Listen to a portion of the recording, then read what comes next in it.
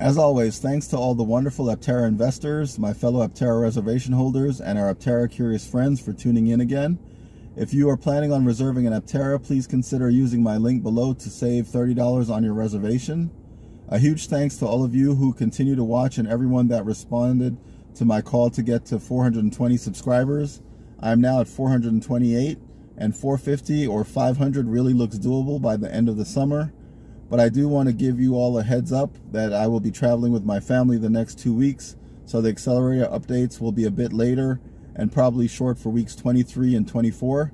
Hopefully the program does not have any huge changes during that time, but I'll do my best to keep you all informed. In this video, I'm going to recap the 22nd week of Aptera's accelerator program. My numbers are based on June 30th, 11.06 a.m. update. Nothing I say in this video should be considered investment advice as I'm not an accountant or financial advisor. Please do your own research before investing and investing, especially in a pre-production startup company, is very risky.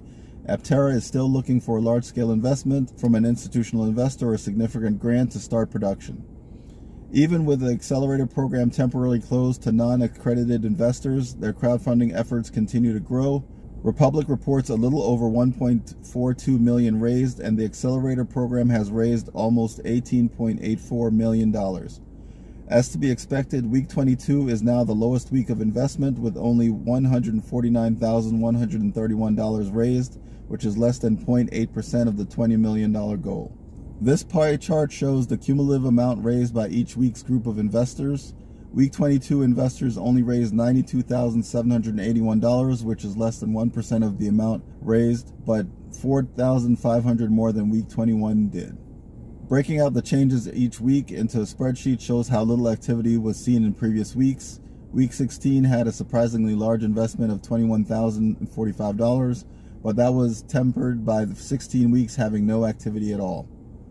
Breaking down the investments to the daily level shows that each day that had some activity was not too much different from the weeks before week 20.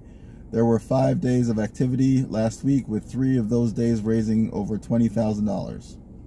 With only 10 new investors last week, we have a new record low.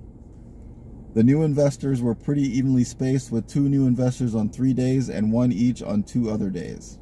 Week 22 brings the total number of investors to 1,319 with 548 total new investors and 771 prior Aptera investors. This did not move the percentage split, but we had more than twice the number of new investors with seven new investors and three prior investors. The percentage raised by each group also did not change. Prior investors have added about 10.69 million compared to the 8.15 million added by new investors.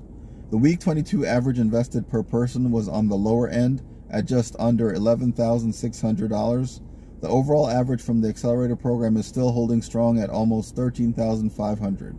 Both the top 15 Aptera vehicle spots and top investor leaderboards were quiet this week with no changes. Thanks again for watching. Please subscribe, comment, hit the notification bell, like and share to help our channel grow.